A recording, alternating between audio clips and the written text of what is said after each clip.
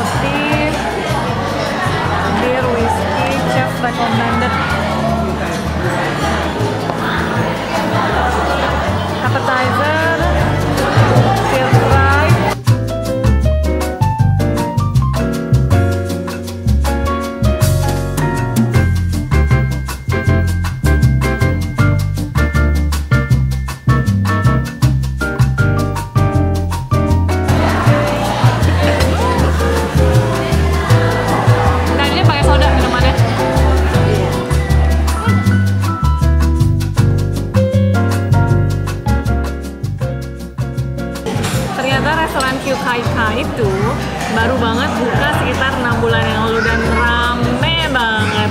Untuk minuman, aku cobain ini satu passion fruit with soda. Aku suka banget sama passion fruitnya karena mereka pakai buah markisa yang asli, which is agak susah untuk didapetin di Jakarta. Ini masih pakai markisa asli. Dan yang satunya lagi, ini banyak banget Hampir semua table sih pesen ini. Ini namanya butterfly lime juice with soda. Warnanya ungu, cantik banget.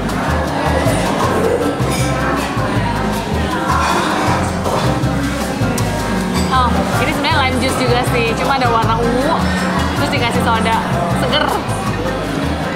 Nah, untuk makanan kita cobain ini. Ini crispy pork with salt. Ada taburan garam.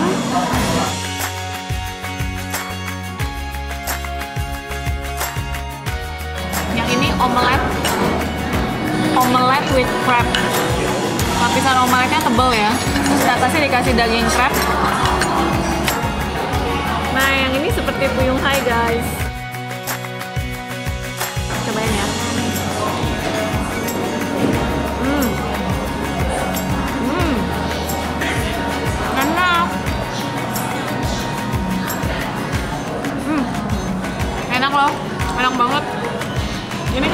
Kesukaan orang Thailand juga. Jadi favorit salah satu menu favorit yang harus dicobain nih Q Kai Cup.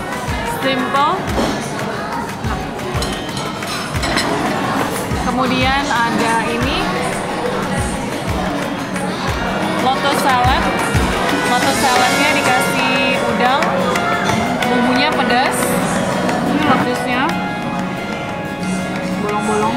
Lotus salad dikasih sama big shrimp.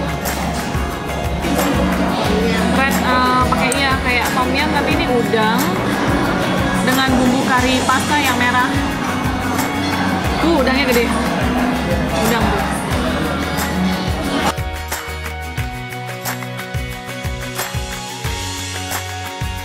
Tadi aku cobain kuah ini, red curry paste-nya di sini ternyata mirip seperti kimchi soup. Jadi ada sedikit sour, ada pedes-pedesnya. Terus tekstur vegetables-nya mereka juga mirip seperti kimchi. Kan? Bener nggak? Ada asam-asamnya? Asam. Kayak Asam. yum soup gitu ya. Beda. Beda ya? Beda. Beda dikit. Nah, so spicy. pedas banget ini makan makin lama makan makin pedas nih soalnya red red curry paste nya pedas Pedas banget. ada asam-asamnya gitu tapi sayurnya enak ya. Aku nggak ngerti aku nggak ngerti ini sayurnya nama sayurnya apa tapi ini local vegetables di Thailand. Dan mereka jadi kita cobain. Gimana telurnya? Suka nggak? aku suka banget sama telurnya ini. Nih crispy porknya nih. Enak. Yang ini juga enak. Recommended. Curry paste juga recommended